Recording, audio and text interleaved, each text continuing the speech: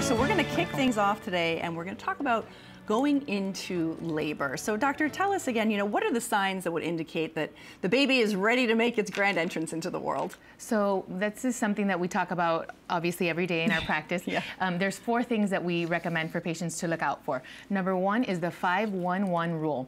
Contractions every five minutes lasting one minute for one hour. Um, that's a, an easy way to remember. 511. 511. Number two is if you break your bag of water. So some women describe it a big gush, kind of like the Sex in the City situation, you know. right. um, a lot of women also describe it as a leaking. Some women will even think that they peed on themselves, and these are right. very common concerns or questions. But that's a reason to call your doctor, certainly. Number three is vaginal bleeding. A little bit of spotting, a little bit of bleeding occasionally will occur at the end of the pregnancy. Any more than that certainly can be a sign of labor. And the fourth is um, if the baby is not moving well. A little bit of decreased movement at the end of the pregnancy is pretty common. There's a little bit less space.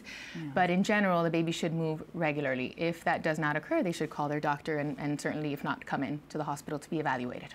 Absolutely. Uh, good, good, advice there, of course, to call the doctor or get to the hospital. But um, also, just these are kind of the 511 that you went through. Before these kind of major incidents happen, if you will. Are there any other kind of early signs also, maybe towards the end of the pregnancy, that labor might be getting a little bit closer? Sure. So um, a lot of women refer to the mucus plug. The mucus plug passing, it, it has a grayish, clearish consistency, sometimes little spots of blood, and some women, women will pass it a few weeks before going into labor. Some pass it very quick, shortly before. So that's another possible sign.